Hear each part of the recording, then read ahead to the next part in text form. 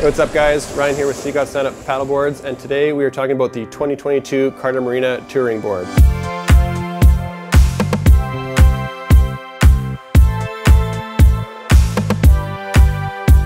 This board is awesome. You can take this board long distances, you can pack your gear on it and go overnights. This is the board that'll take you there. There's a ton of room on it to pack your gear. It has a touring shape, which helps with efficiency. The pointy tip helps shed the water when you're cutting through waves, and it tracks amazingly, so you're not gonna be switching paddles on your side every time you're stroking. This board is made with our ultralight fusion technology, which makes it only 25 and a half pounds. It's 32 inches wide, so it's gonna have great efficiency.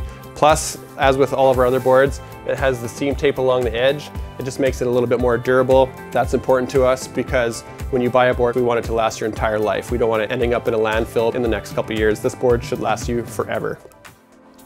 Over here at the tail, we've got a portage handle, which makes it a little bit easier to get off the shore or get back on the shore at the end of your trip. Of course, a spot to put your leash and our standard Bravo SUP inflation valve. This valve is rated for 29 PSI, even though the board is only rated for 20 PSI.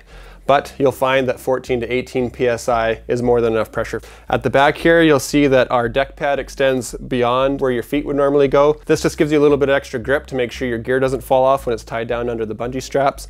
Of course, we have a four point D-ring bungee tie down system at the back here.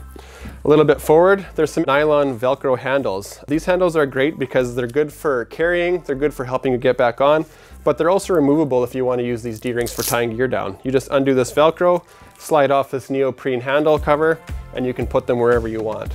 A little bit further, there's an extra D-ring here, and using this D-ring and the front D-ring system, you can use a kayak seat with this board.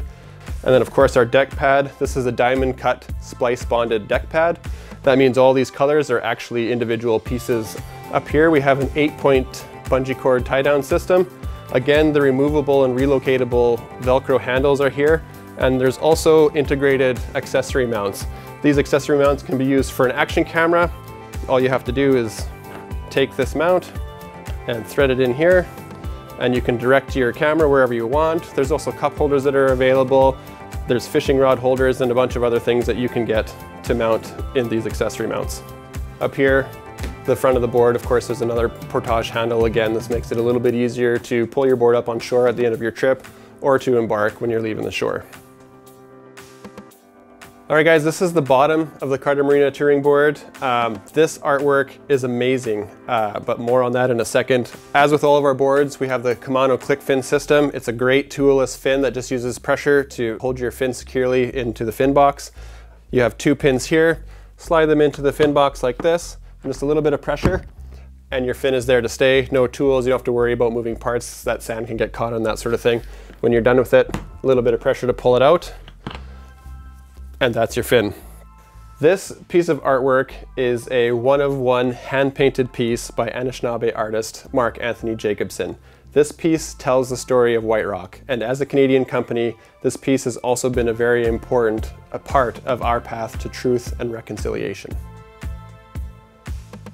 All right guys, this is the 2022 Carta Marina Touring Board. This board is awesome, and if you want to go places, this is the board that will take you there. Check it out at seagods.ca. We're also on Facebook and Instagram at seagodsup. Remember to stay safe out there and happy paddling.